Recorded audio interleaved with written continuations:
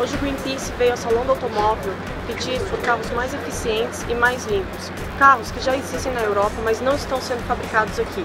Pedimos para Fiat, Volkswagen e Chevrolet para que façam carros mais limpos aqui. Nossos escaladores tentaram abrir um banner gigante para dar esse recado à população, mas foram infelizmente impedidos. O nosso recado era essas três montadoras estão enganando vocês.